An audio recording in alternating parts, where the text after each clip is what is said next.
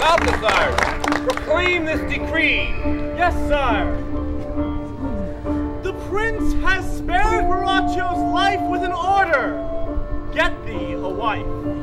On bended knee he made his plea, and Margaret, virtuous and just, sighed and said, I guess we must. we ask for family, friends, and guests to stay but a while, for anon this midsummer night, two become one, with the, with the wedding of Char and Glenn. For those of you stayed on from our merry play, please allow family and guests to sit, for they have traveled from afar and need to rest a bit.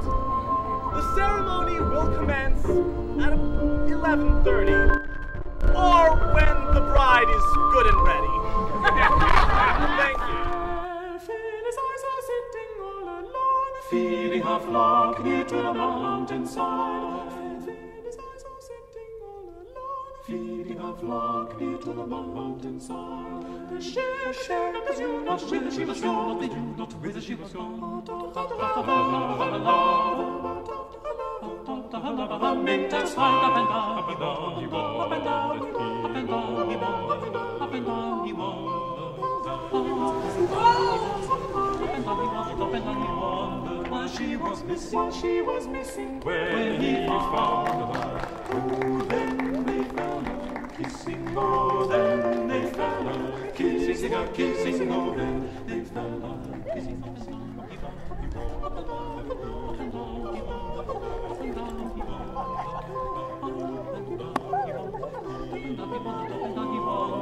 She was missing, she was missing when he found her.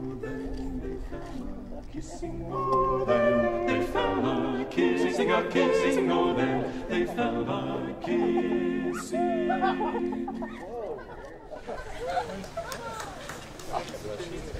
Just got a microphone.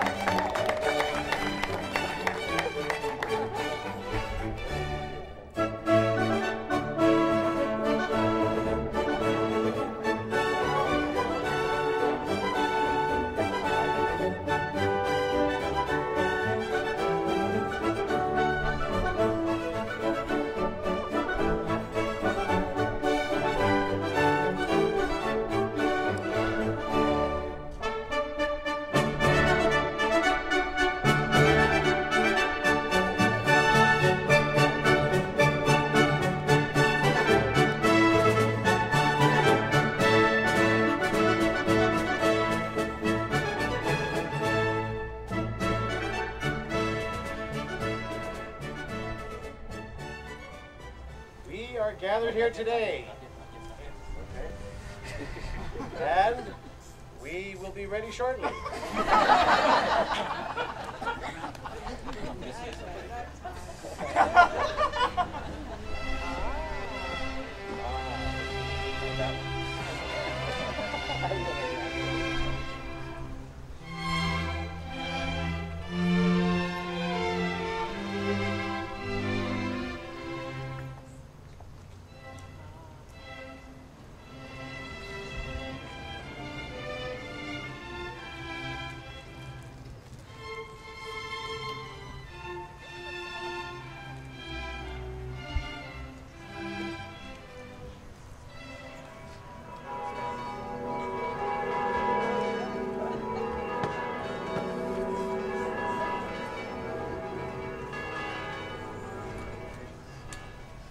My lord, they say for you to give your daughter to her husband.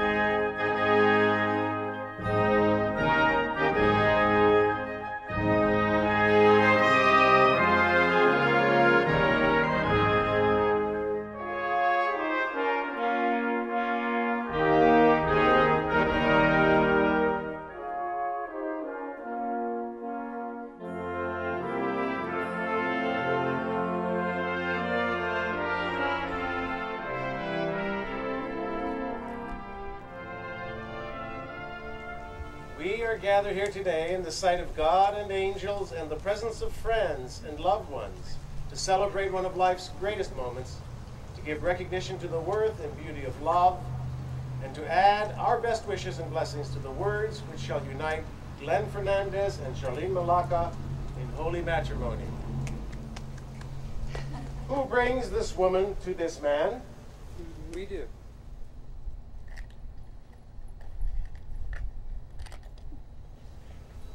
Marriage is a fusion, a promise and a celebration of community.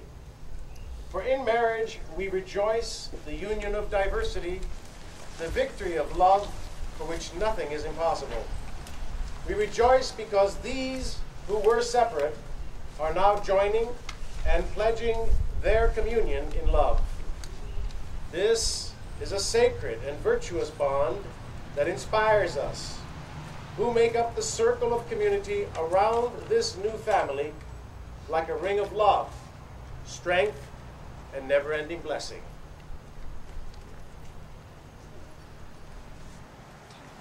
The bride and groom have asked Jackie, their theater mom, to say a few words on their behalf. The art of marriage.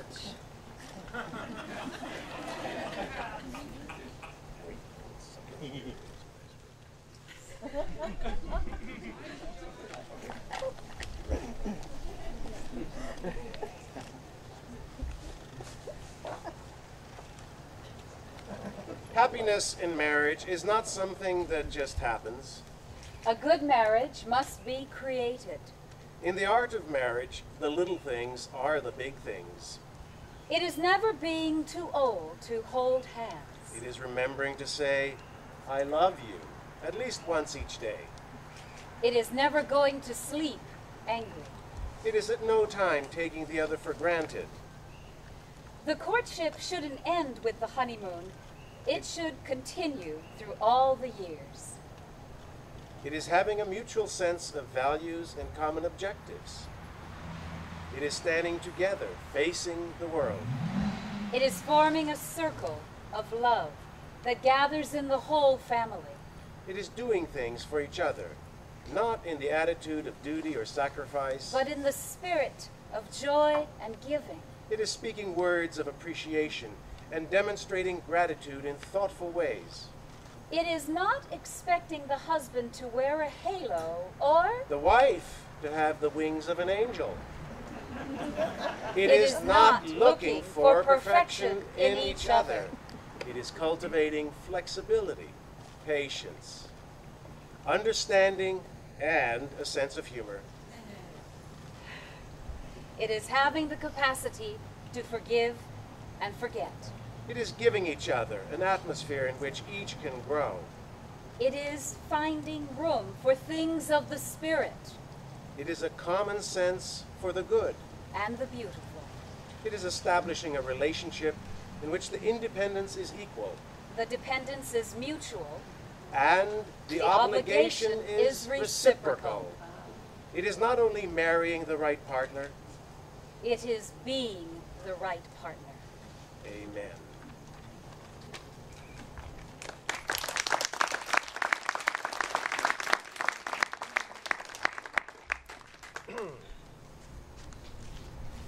the hand which you each offer to the other is an extension of yourselves.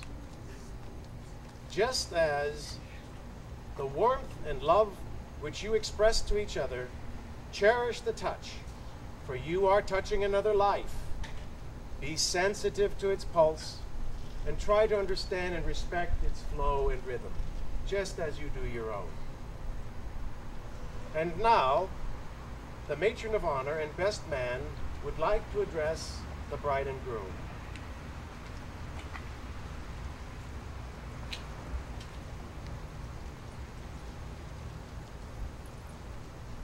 Char, could you please face Glenn and hold his hands, palms up, so you can see the gift that they are to you. These are the hands that will passionately love you and cherish you through the years for a lifetime of happiness. These are the hands that will countless times wipe the tears from your eyes, tears of sorrow and tears of joy. These are the hands that will comfort you in illness and hold you when fear and grief fill you. They will give you support and celebrate with you in your accomplishments. Char, these hands and this man are given to you today as a precious gift from God. Don't let go. Hold them securely, hold them gently, and hold them lovingly. Glenn, please hold Char's hands. When she has a.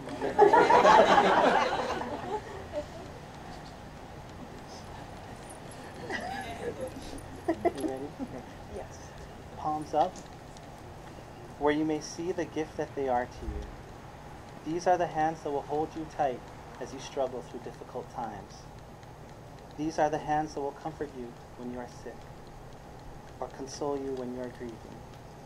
These are the hands that will passionately love you and cherish you through the years for a lifetime of happiness. These are the hands that will give you support as she encourages you to fulfill your dreams. These are the hands that will slap you upside your head Getting out of line. Together, as a team, everything you wish for can be realized. At this time, the bride and groom would like to speak their own vows.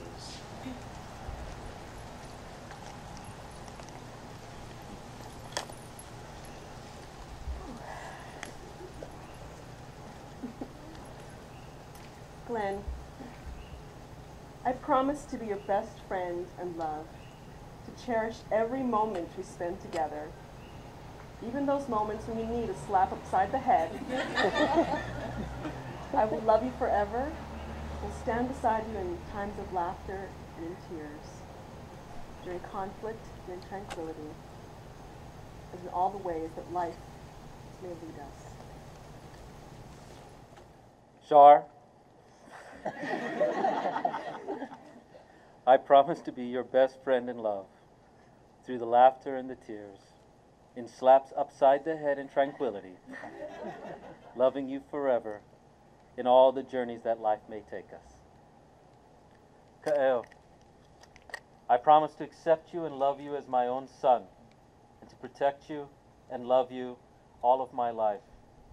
I promise to do my best to guide and support you and respect you enough to allow you to see the whole world through your own eyes.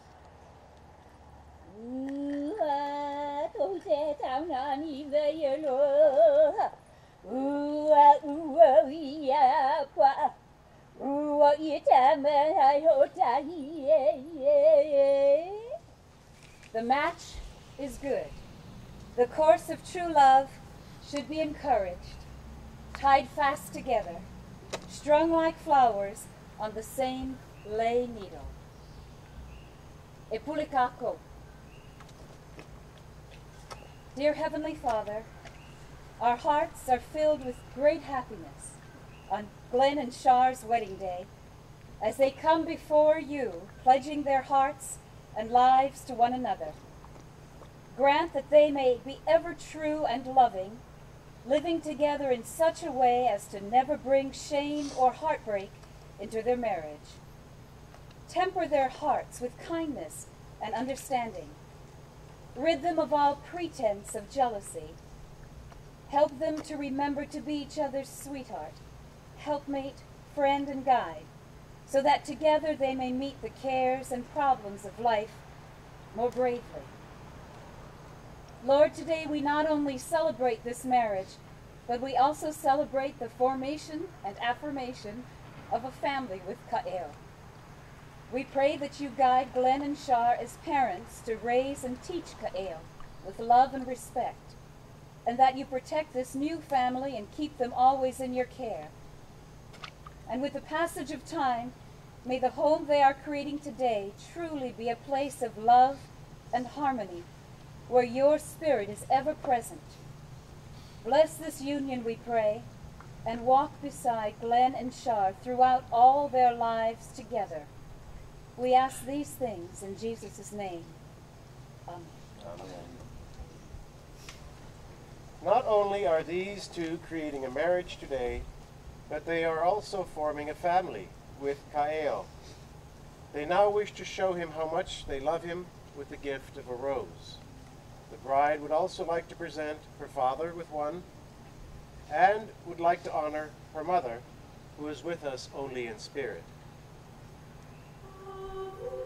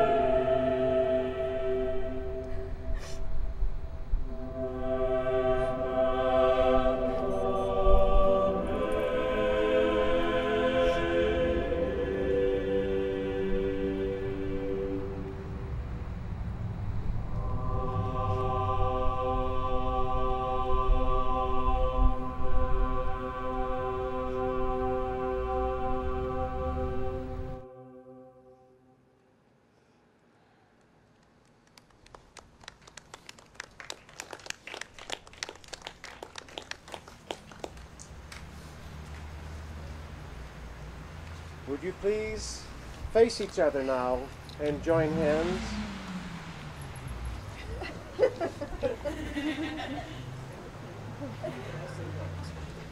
Sweat.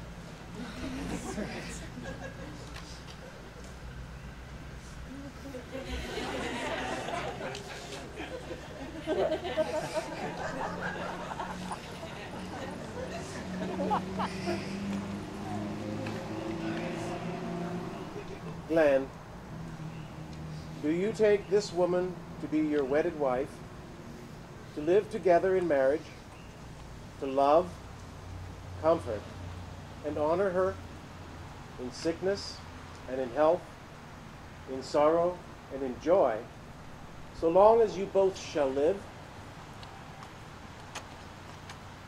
Line. I do.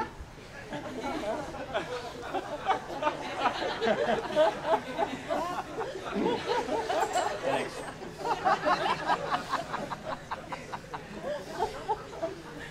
Shard.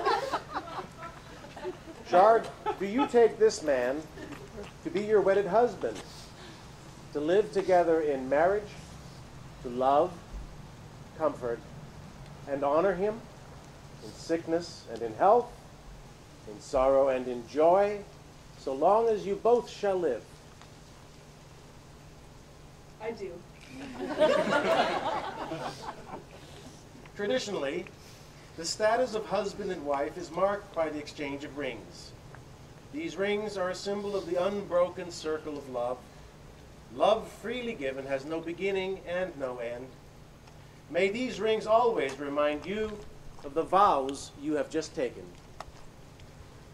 Glenn, repeat after me. Char, Char, I give you this ring as a symbol of my vow. I give you this ring as a symbol of my vow. With all that I am With all that I am, and all that I have, with all that I have, I honor you I honor you in the name of God. in the name of God. With this ring, With this ring, I thee wed I thee wed and pledge my troth. and pledge my troth. Char,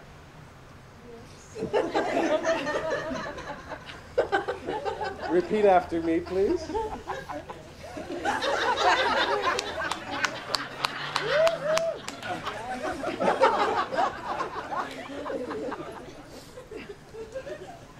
Glenn, I give you this ring Glenn, I give you this ring as a symbol of my vow. as a symbol of my vow. With all that I am With all that I am and all that I have, and all that I have, I honor you I honor you in the name of God. in the name of God.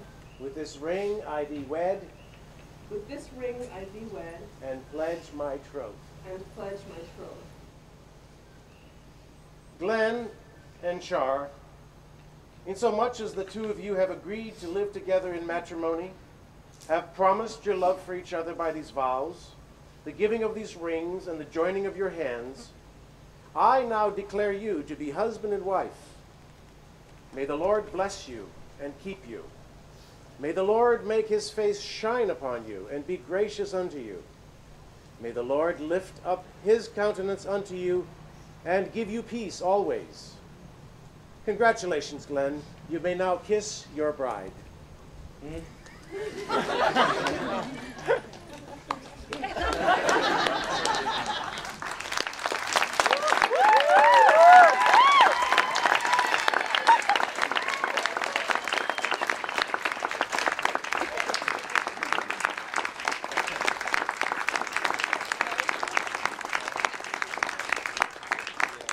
Friends hmm and loved ones, I present to you Mr. Glenn Fernandez and Mrs. Charlene Fernandez.